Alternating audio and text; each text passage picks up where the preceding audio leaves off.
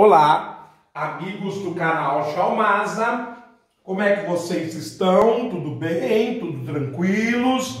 Nós viemos para mais uma edição do seu Jornal do Maza, utilizando a Folha de São Paulo da quarta-feira, 18 de agosto de 2021, em edição 33.740, onde desta feita na última página da Folha Corrida, caderno Saúde da Folha de São Paulo, nesta edição, a B10, nós destacamos a coluna do Marcelo Viana, diretor-geral do INPA, o Instituto de Matemática Pura e Aplicada do Rio de Janeiro.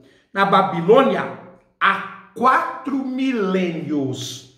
Antigos documentos dialogam entre si para a resolução de problemas.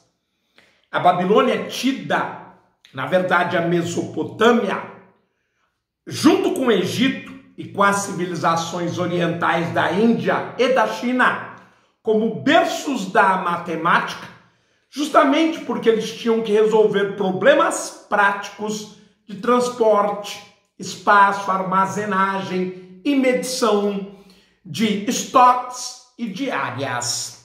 Uma vez vi um carpinteiro marcar dois cortes perpendiculares da madeira.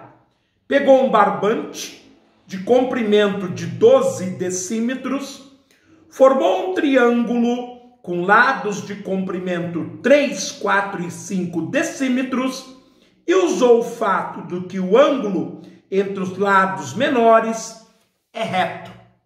Não sei se sabia por que funciona, mas aposto que ignorava que a técnica já era usada 4 mil anos atrás. Plimpton 322, uma tábua de argila encontrada nas escavações da Mesopotâmia e datada de 1800 a.C., é um dos mais famosos documentos matemáticos antigos.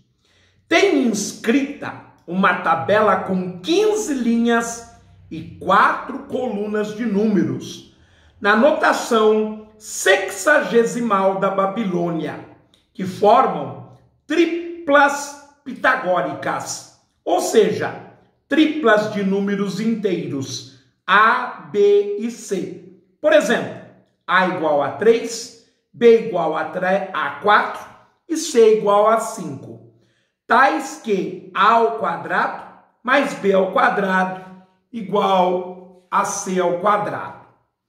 A maioria dos especialistas acredita que se trata de uma lista de exemplos para uso em sala de aula. Mas a inscrição também aponta um método de cálculo das triplas, mais de mil anos antes de Pitágoras que mostra um conhecimento de geometria que se pensava só ter sido alcançado na Grécia.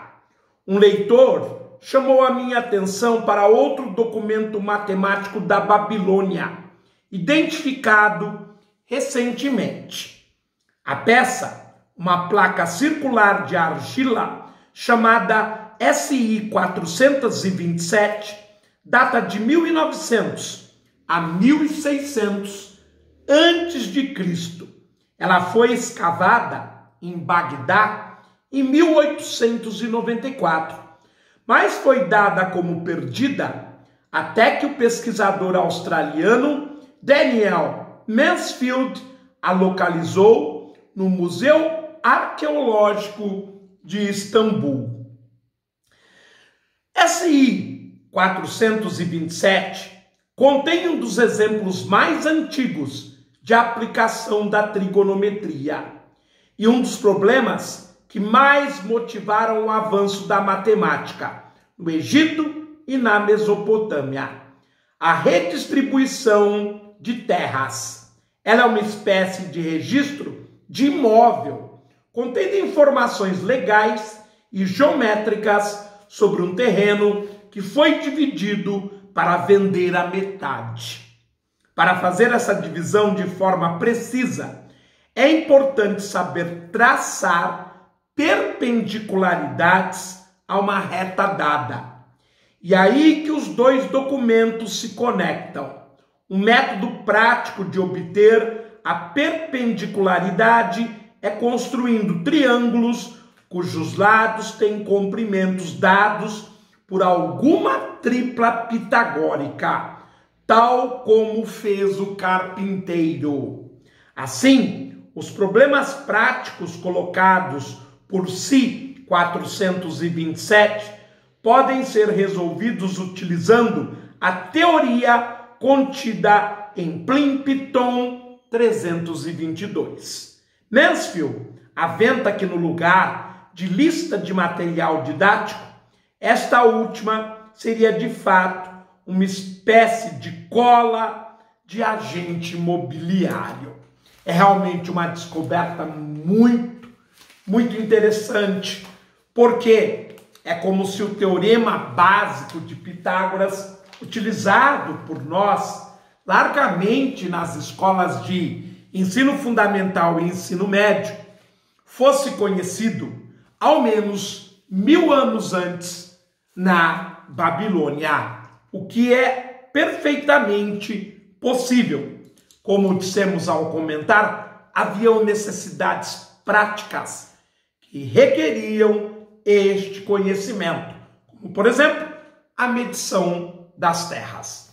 Pessoal, nós ficamos por aqui, desejando a vocês tudo de bom um grande abraço, fiquem bem, eu os vejo oportunamente, aguardando vocês num novo programa. E claro, se puderem e quiserem, não se esqueçam de se inscrever, deixar o seu like, o joinha, acionar o sininho das notificações e deixar um comentário. Tudo isso ajuda o canal a crescer. Muito obrigado, até a próxima.